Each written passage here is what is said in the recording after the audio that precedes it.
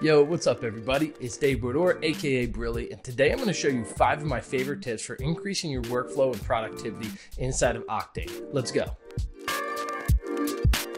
This is one of my favorite features, which is the option update check and disabling the camera being updated when it's moved or altered here in the live viewer. So if we keep this checked on, which it is by default, right? Keep that uh, camera checked uh, and we move out from the camera, right? We move out from the view. Well, exactly kind of like we thought might happen.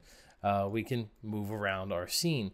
However, a lot of times I want to change something within my scene, but I really want to see it through the view of my camera still. So maybe I want to adjust a, a certain light or there's something very specific or particular that I want to change, but I still need to see my whole scene. So what I'll do is I'll go to options, update, check, and I'll disable the camera. The amazing thing about this is now I can jump out from my camera and I can actually move around my scene, but my live viewer is still going to be functioning in real time in case I want to come in here and control any aspect. Um, maybe I have another object that I want to place in my scene here, right? So I'll take a, any one of these spheres here. I'll copy that, right? You can see that this will all update in real time and I can kind of position this where I want. But now I'm not locked to being in the view of my camera. But I get to still see the perspective from the camera view itself. Super, super helpful. This has saved me an insane amount of times. The only thing you want to make sure is that sometimes I forget that if you want to go back into your camera, you can simply pop back into your camera, no difference there. But if you change anything now in your camera, if you want to adjust the position or move it around, it's not going to update. Or if you want to, you know, change the post processing or camera imager or anything like that, your depth of field, you do need to go back in and turn that back on, enable that camera again. And now if you move anything or change anything in your camera, it will work. Otherwise, if you have that disabled, none of this will show up in your live viewer, right? So you have to have that enabled for it to show up. But this is such an amazing time saver to be able to say, you know what, let me pop out for a second, move around in my scene, but I can still see it actively through the camera in the live viewer. All right, now here's for the next part. Inside of Octane, I'm always using the node editor. When you're creating your materials, if you're not comfortable with the node editor, you really should make sure you're comfortable because this by itself will increase your workflow and productivity in Octane and really in creating any materials in 3 at all. But if you want to organize better, and you really should try to keep all your textures and materials as organized as possible. All you got to do is simply drag and select, or you can shift and select individual nodes in here. But if you right click and you say align nodes horizontal, it'll help you align these automatically. So you're not in here trying to very specifically place these. Now this is just the, the first part. What if we were to make a mixed material in here?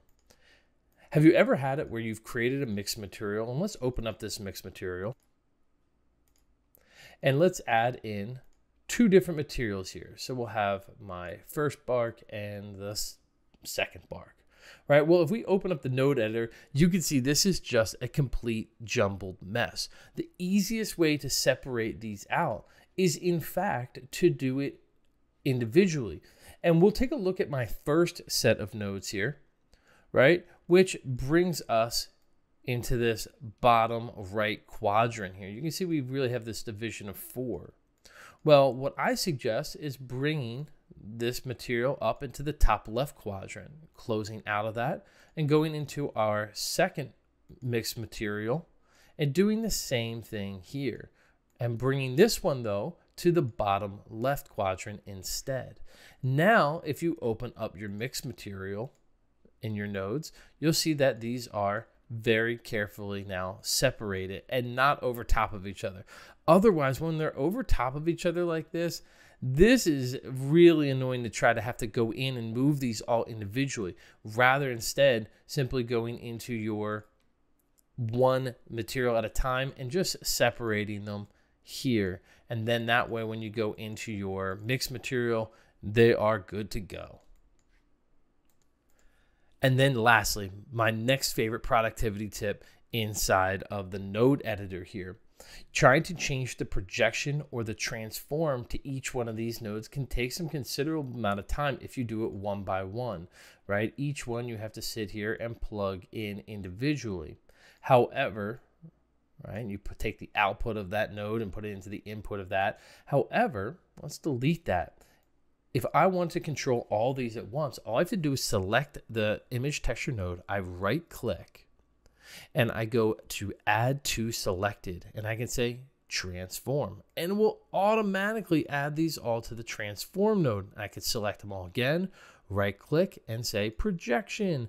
And now I save myself numerous clips of plugging in each one of those image texture nodes into a transform and a texture projection. And now we're using the render network. So I'm on rndr.x.io. And if you've just uploaded your ORBX file here, that's fine. That's going to work for you. However, if you have a slower internet speed or you just don't want to wait as long, I've got a great tip for you. You can just go to your ORBX file. You can right click it and you can send this file to a compressed zip folder. And when you do that, it will now upload to the render network significantly faster. And it will also, during render time, it will submit out and send to each individual render node faster as well. So your whole entire job and submission process will all increase and get done faster. Who doesn't want to save that kind of time just by simply throwing it in a basic zip folder? And my greatest productivity workflow tip to help speed you up in Octane is using the render network. If you haven't started using the render network, do yourself a favor. You got to jump on. I've got a whole training tutorial for you from beginning to end on how you get started using it. But if you want to talk about increasing your workflow and your speed while you're creating 3D, you've got to be using the render network. Check it out. I'll do, I'll do the whole entire process along with you on uploading and submit your entire scene from start to finish. So check that out. You won't look back and you won't regret it. Nothing has saved me more time than the render network. Okay, so when rendering out of Octane, we typically will keep our sample count up really high. But when you want to just test out a render, throw this sample count down really low.